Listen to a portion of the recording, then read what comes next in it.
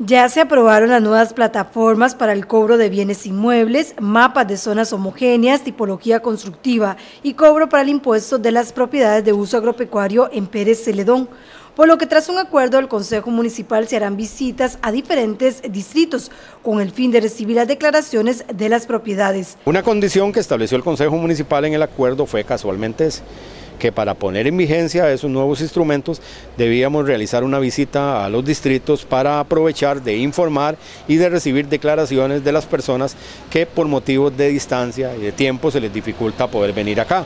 El objetivo principal entonces es visitar a las, a las comunidades para que las personas puedan hacer la declaración de sus propiedades, tanto de uso agropecuario como las de uso habitacional y comercial. Para ello se trasladarán unos cuatro funcionarios que estarán atendiendo a los contribuyentes en diferentes localidades.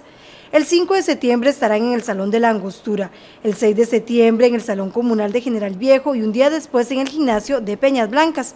Para el 8 de septiembre se trasladarán al Salón Comunal de Mollejones. El 11 de septiembre atenderán a los vecinos en el Salón Parroquial de Rivas y un día después se trasladarán al Salón Comunal de Pueblo Nuevo. El 13 de septiembre estarán en San Pedro. Para el 21 de este mes se trasladarán a la Iglesia Católica de Pejivalle, posteriormente el 25 de este mes en el Carmen de Cajón.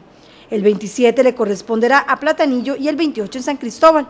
El 29 de septiembre se trasladarán a Santa Rosa y concluirán el 3 de octubre en San Ramón Sur. Pero también queremos llevar el paquete completo, llevar a otros funcionarios para que las personas puedan pagar sus tributos, puedan realizar diferentes trámites, puedan hacer consultas. Entonces es como una pequeña oficina de la municipalidad que va a estar en, en cada uno de los distritos. Hay una programación que va a estar siendo comunicada.